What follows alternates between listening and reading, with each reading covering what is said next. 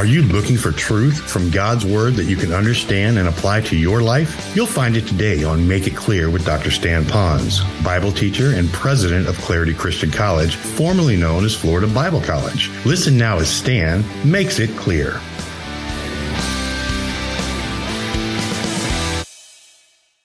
I'm wondering how many of us, we really don't see the need. We, we know because we're smart enough and kids were mature enough to know that there's a lot of stuff that needs to be done. Some of us, the needs are so great and so many that we almost, we zone out. We just kind of like, I don't want to say deny it, but we want to ignore thinking that if I ignore the need, it goes away. It doesn't do that, my friends. Generally, it exacerbates if we don't get on top of this thing. A drippy faucet, a car that needs oil, you know, there's a problem and it's going to exacerbate and get worse. So Jesus saw the particular need. Now, here's a question because you're not Jesus and I'm not Jesus. How did Jesus know about this guy? He saw this guy, he saw this problem. How did he know about it? I think there are three possible answers. I think two of them are probably the answer, but the one of them is a shot in the dark. It's possible that while Jesus was traveling to and into Jerusalem, someone might have said, Look, there's a pool with a bunch of people over there. Jesus probably would have known that because he'd been around Jerusalem. And then someone might have said, Look at all these people over here. A lot of them have needs, but this guy, he's the oldest bloke over here. He's 38 years waiting for this water. Why don't you go help him? Is it possible that someone told Jesus? Is it possible? Yes. Is it likely? I don't think so. So, how else did he know it? Well, I believe Jesus is God, and I think you do too. So it's highly likely that God the Father spoke to God the Son, and so there was a God message to him about this because they were in sync. All right? I think that's a high probability. Another could be this, since I do believe that Jesus is all God, that you had the, the, the, the, the deity part of God, the all God part of Christ, communicating to the humanity part of Christ about this need. So the God part of Christ explaining about, in some measure, that message of this person to the humanity part of Christ, then Christ would then look because all this is happening at once. Now, I lean more on that than I possibly do even the second, although I'm never going to split that theological hair. But here's what I'm going to take home from that. I'm going to say this. A lot of needs around me. I need to be alert by saying there are needs. When I come to church, there are needs. Kids, when I go home this afternoon, there's stuff to be done around the house. Parents, there's stuff to do with your kids. There's stuff that has to be done. We have to know that. But now, what we're going to do is we're going to allow the, the, the Godhead, in a sense, the Holy Spirit, to speak to our spirit, to sense what needs to be done now. What do we need? Who needs the most love touch now? Where do I need to get my hands dirty now? What time do I need to sacrifice now to take initiative? So I believe there is, as we're yielding to God within us, I believe that's going to be the help to know how to define what things about which we take initiative. And so keep that in mind. He saw, and then look at him here. Circle the word him. Now, there's a lot of needs. We talked about that, but he did single out one. And perhaps you might want to look at one person. Now, what I took away from that, and maybe you could take away from that, is this is that he, he looked at the man. He didn't say he saw a cripple, he saw him, he saw the man. Most needs are connected to people. They're, they're, all task needs are still connected to relationships. So when you're doing the task, some of you are task oriented, so you'll jump to the task. But remember, it's not just about the task. Listen very carefully. It's all about the person who really has the need. So you want to do it on a relation. You want to build a relationship with the person based on the task. So look at people. Look at your son. Look at your daughter. Look at your brother. Look at your sister. What does she need today? What can I do to help them? What does mom need today? What is the guy helping in our connection group? What could I do to lighten his or her load? What about at work? The guy who shares the cubicle, the one who parks his truck next to mine. What about them? What do they need? So look at them, him, her. And then it says lying there. Well, that's just simple. He's lying there because he couldn't get there. He was either withered or he's lame or something. He couldn't get to where he needed to go. So basically, he needed help. Then it says, Jesus says, and he knew that already. He had been in that condition a long time. We talked about that. He said to him, Do you want to be made well? And the sick man answered him, Sir, I have no man to put me into the pool when the water is stirred up. So, for whatever reason, watch this now, the sick man thought that the only way his need could be met was that way. He did not know that there was another person that could meet his need, which was Christ. He'll find out in a matter of moments. So he was trying to get his need met another way. Then it says here, while I'm coming down there, someone gets in ahead of me and I miss my chance. And I love what Jesus said here. He said, Rise, take up your bed, and walk. Now, you got your pens ready? Circle the word rise. So he says, Stand up, take up your bed, which means now lift up what you're sleeping, like a sleeping bag, guys, gals. It's like taking your sleeping bag. It's like taking your mat. Some of you that sleep on a mat in your home, I know some of you do that. You know what I'm, who I'm referring to. So take up your bed, whatever it might be. I don't know if I'm going to take up the bed I sleep in at the house. I can barely lift the mattress. I don't know how Carol puts on the sheet. She's been gone the last two weeks, so I'm, i got the bedroom all clean. I vacuumed. I washed every floor, literally on my hands and knees. I cleaned every bathroom except the bathroom I've used while she was gone.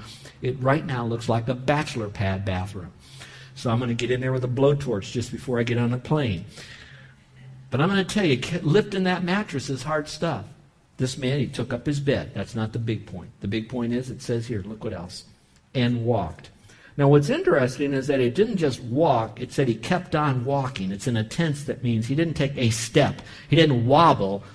He stood up, which he couldn't do before, and it was kind of like, oh, wow, 38 years. It didn't say from birth, so he probably knew how to walk before. Then he got crippled, and all of a sudden he got his walk back. Then it says he'd take up your bed, which means he wasn't a weak, shriveling up guy. He was strong enough. So God gave him strength not only to stand up, but to carry something, but not only to stand up and carry something, but also to move. He had motion. And it said, and immediately the man was made well. Now, underline the word immediately. Now, I don't have time to talk about faith healers here, but you'll find that whenever Jesus did it, it was immediate. He took up his bed and he continued walking. So here are the principles. Let's go through these quickly. Number one, go where the needs are. That's what Jesus did. Go where the needs are. You can assume where they are, but you got to go with them. Don't hide in your bedroom. Don't hide behind a computer. Don't hide in your truck. Don't hide at a lonely beach. Don't hide in the mall. I don't mean you can't go to the beach. You can't go to a quiet place. You can't. I didn't say you can't use your computer. I'm just saying we hide. We use these things thinking that we're meeting needs. And at all those places, there are going to be needs. So just go where the needs are. Let the Spirit of God lead you. Number two, be alert to what needs to be done. Be alert to what needs to be done. So, in other words, see what's out there, what really needs to be done. Next, pick out what you pick out what might be the greatest need you can meet. Maybe it's not all the needs you can meet, but you might pick out the greater need that can be done. Pick out what might be greatest. Now, again, all of this is wrapped up in skill set and timing and ability. And uh, you, you young people here, some of you might really say, I want to take on the needs of the world, but you've got to do it underneath mom and dad's authority. So find out what direction they would give you, but pick out what might need to be the greatest need to be met. And then finally, be the first to take action to meet the need. Be the first to take action to meet the need.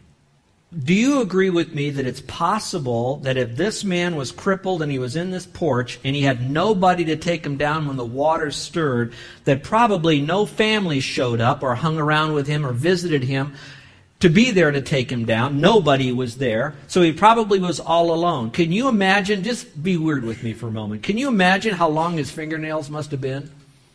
His toenails must have been? Can you imagine how long his hair must have been?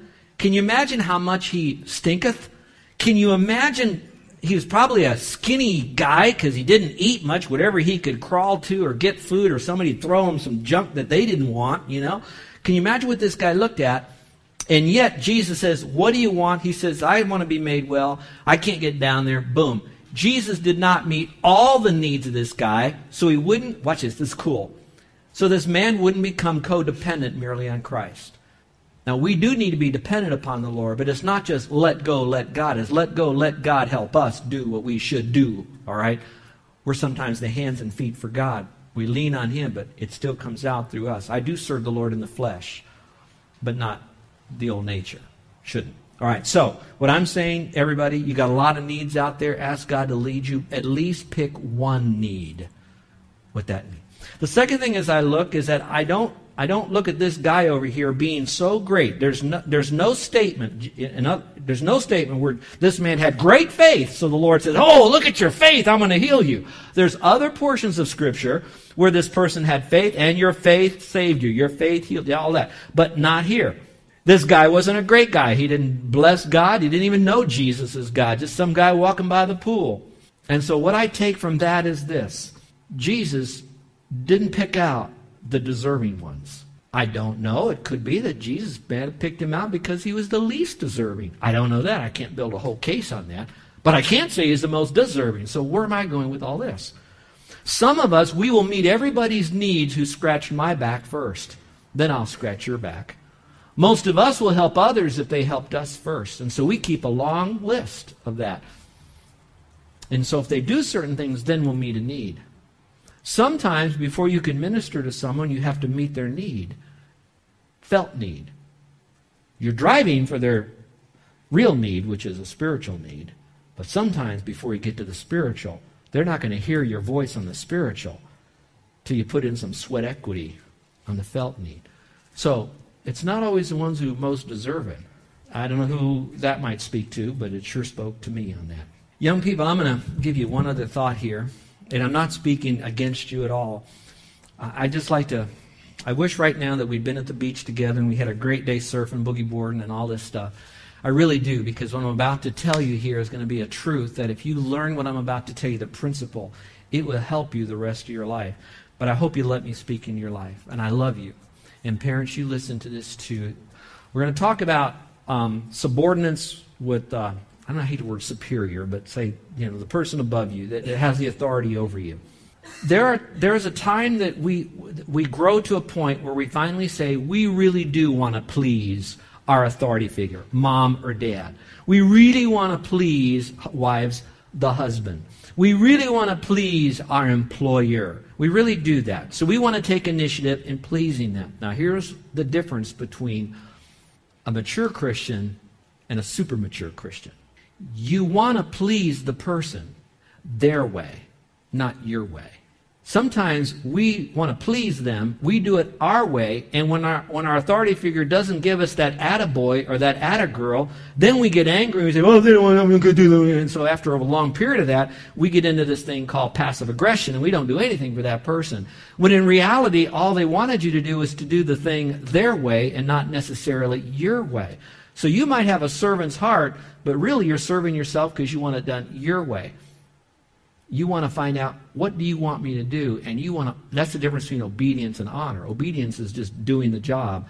Honor says, I want to find out what is the way they really want me to do this here. How do you can take out the garbage, or you can take out the garbage.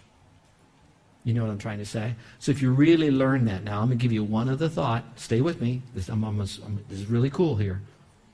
That's good, good teaching.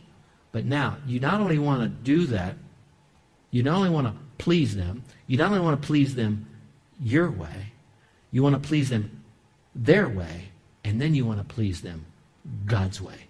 So, in the whole mix of all of this, you're saying, okay, Lord, I'm not really doing it for my authority figure. I'm really doing it for you. And so, Lord, how do I do this? In most cases, the Lord will then tell you, do it the way your boss wants it. Do the way your mom and dad. They might not always be the. You might have it a better way. You've been around. Maybe you saw more. You could maybe give them your opinion in love, humbly, sweetly, as a student and a learner. But then leave it up to them. And if they say, I want it done this way, then you cheerfully do it that way. And if it blows up, it'll blow up in their face because they gave you poor direction. But you can say, I did it right. That's taking initiative. Now, I don't know, but it'd sure be neat if I had one guy and one girl that would take that truth and live it the rest of their life. How different this world would be. All right, number three. What could I do to demonstrate initiative? We talked about this, so we'll go through it quickly. Not wait to be told to do something that I know needs to be done. There's certain things you already know it needs to be done, so don't wait to be told to do it. I'm talking about staff and people and workers and employers and employees, whatever needs to be done, get it done explore new areas of service opportunities so I can be more useful to Jesus Christ. In other words, I want to get out there. What more can be done? What could I do? What's my skill set? What's my gifting? What's my personality? What needs have I heard? What needs do I anticipate? What can be done? Don't wait to be asked Find out how to get the key to unlock the door to get to the broom. Go and do it. Then relieve pressure from those around me by taking the lead in lightening their load. All right? You want to relieve their pressure, but don't wait for someone else to relieve their pressure. You be the one to do that. And in most cases than not, the one who had the pressure relieved is going to come back and they're going to thank you and you're going to take watch this you're going to be on the highest road that everybody else wants to be up there but they don't want to travel that road because it's too high and too lonely. They want to stay with the pack that does their own stuff their way all right but that lonely road up at the top you take that high road i'm going to tell you that's where the scenery is. That's where the cool air is. That's where the best view is. And that's where god's going to bless you. So relieve the pressure from those around you by taking the lead. You take the lead. Number four, there are dangers in having initiative. Yes, there is. By judging others for not having initiative. How many of you that have taken initiative for so long and finally feel like you're the ones that are doing all the work, nobody else does it? And so then it's easy for you to get a sour, grumpy attitude and then basically quit or go to some other job or another church or another relationship. Second, beware of taking initiative, and some of us will, and then quitting without completing the task. Nothing frustrates a parent, nothing frustrates a boss more than when you show initiative to start with, but you kind of fizzle out halfway through the program. I'm sure glad that when a doctor decides to do surgery on me halfway through, he doesn't say, you know what, I, this isn't as cool as I thought it was. I got some other things I need to do, so I go do that. I'm glad they didn't quit. I'm glad that Jesus didn't start the pro- process by coming to the earth. And he lived a perfect, sinless life. And then all of a sudden people turned on him and then they started to beat him and then they put him on the cross and he said, I had enough of this. He didn't do that. He stayed with the whole thing all the way to the end when he was totally alone in the initiative that he took. There's my example. If he can take it to the end, I can take it to the end. One more that's not in your notes. Beware of thinking that every request constitutes a need. You can't do everything. You'll, you'll, you'll explode. I want to end this. I think it's a good time for us to land the plane. First of all, if some of you have had conversations recently about you never do anything around the house and you never help out here or you don't do it, I want you to know no parent called me, no boss called me, no teacher called me. God called me, in a sense. And he said, I need you to speak on this. And so instead of looking to an earthly model, although there's probably many that I could have paraded up athletes, people in music, people in the arts, people in leadership, people in history, people in the Bible right now, the greatest example of initiative is the Lord Jesus Christ. And I want you to think with me for just a moment. He looked upon the earth. He didn't just see starving, sick, wicked people. He saw people that were going to spend eternity in hell. And he says, nobody can meet their need. They can't meet their need by doing good deeds. Every religious leader that's ever popped up to offer them an escape plan can't meet their needs. They're giving them candy for medicine. That's not working. He said, I'm the only one that can meet their need. Now, I don't understand all about God, and everybody has a need. Not everybody goes to heaven. Not everybody receives the need meter the Lord Jesus Christ. But he did take initiative. The Godhead, watch this, this is so cool. Scripture says, before man ever fell, the plan of salvation was already in place. He was so much a need meter that he knew man would have a need before he had a need. Now think about that around your house. And go back here.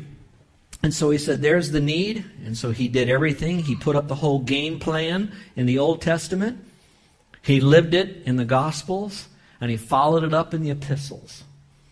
All about the need for man to have a Savior, the Lord Jesus Christ. And he initiated the communication of that, the payment for that, the gift for that, the conviction of the Spirit telling you that you need Christ and you better respond to that, and then the sealing of it so we'll never have to go to hell after we've trusted Christ. That's the initiator. And it's so cool that after he does all this, he doesn't say, okay, you're on your own. He also takes initiative then to prompt us, teach us, guide us, fill us, empower us, all the rest. That's the kind of initiator we have. So let's just take a moment right now and bow our heads and close our eyes and let's go to this great initiator. And let's thank him that we were by our own pool lost and we were in our own state of infirmity. And our infirmity wasn't a health one, although I, I feel for any of you that are listening that have found out you have cancer. Or a financial one, any of you that lost your job recently. Or any of you that have had a broken relationship. I, I, I know that. And they're horrible and painful, and I know that's the nasty here and now, but that's we're you still need Jesus. You need Jesus to go to heaven. You need Jesus in your life to help navigate through these un, unseen, unknown times. So why don't you simply right now remember that the Lord Jesus Christ loves you. He loves the world. And right now you're a part of the world and forget about all the 7 billion people and you just think of yourself. God loves you. He already went to the cross to pay for your sin. He went to the cross to pay for your sin. And he rose again from the dead. He loves you. He loved you to get you to hear this message today. However, you're hearing this, He loved you to make sure you heard that going to heaven is not by good deeds. It's not by living a separated life to God. It's by admitting that you're a sinner and you're desperate for a Savior. And you receive Christ as your only Savior, trusting Him to forgive you of all sin. He brought you that message because He loves you, because He's willing that you would not perish. He wants to meet your need. Can you imagine for a moment with me this paralyzed guy? And the Lord said to him, Get up, take up your bed, and walk. And this man said, Nah, you gotta be crazy. I don't know who you are, man. Don't you know I can do this? Well, I don't need that. What I need is you to drive me down to the water. How stupid. How ridiculous. Yet how common it is today. Would you right now just run to Christ in your mind and just throw yourself in his ever loving arms and say, Thank you for dying on the cross and paying for my sins. Thank you for initiating my salvation because, man, I can't do it. I need you. Now, you can put it in a prayer, you could do a mental transaction as long as you are totally and only trusting Christ. So, with every head bowed and every eye closed, no one looking around, is there anyone in here by that uplifted hand would indicate to me that you're trusting Christ as your Savior right now? And you'd like for me to pray for you. Put it up real high right now. You're doing it right now. Anyone at all? All right. Christians, let me leave you with one last initiation. I will always be concerned with a church that wants to be a great church and a lot of fun and a safe place for people to come, etc. But a church that neglects to see the real needs of people that are lost and going to hell. I wonder how many vehicles passed our church on the Pali today of people in it that probably did not know Christ as Savior. Jesus initiated all of this so we would go to heaven. That same Jesus is inside of us. Will we now, simply said, take initiative to connect to lost people, to clear our calendar from all of the clutter that we have, to think we're doing a great job by merely making Christians better? As good as that is, I'm not minimizing that, but I want to maximize the fact that we need also to connect to lost people. Who did you talk to this week for the purpose of building a relationship that you will not leave a relationship with an unsaved person that you will try to help them to come to hear the message of the gospel, either through you or some material that you give to them, or someone that you bring them to hear that's going to communicate the gospel clearly and correctly. And you're going to do that. Sometimes I wonder what we would be like if someone didn't take the initiative to bring that to us. I thank the Lord for Carol. Our gracious Heavenly Father, as we prepare now for our time of communion, we know that you're right here. You've been here all the time, but in a sense, you're going to be here in an object lesson of bread and juice. And so, Lord, we're going to reflect on this as we look upon you who died and rose again. And as we partake of this communion, that our heart would be pure before you. I pray that as we look at this, that we're taking communion, that you came, you took initiative, and you're coming back, you're taking initiative that now you, the initiator, lives within us, that we would serve mankind and be an initiator about you. Now, Father, I pray this in Jesus' name. Amen.